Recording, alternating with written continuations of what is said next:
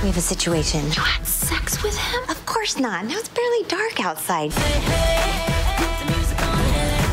Kate is living in a bubble. It's all about serving her husband, and she's kind of lost herself. I am like Martha Stewart with big underpants. Let me tell you something about Martha Stewart. She handled prison like a boss. I saw her kind of as a little bit of a throwback. This is the quintessential Kate outfit. This is a little two-piece gingham cotton Prada, the coordinating bag and shoe combo, Manolo Blahnik, little slingback. And then this Kate Spade bag is a classic Greenwich woman's purse. Every time I look into a pair of binoculars, this guy has another mistress. She's very put together and very conventional. This outfit is after she has a transformation in her life. She's glamorous, but she's still Kate.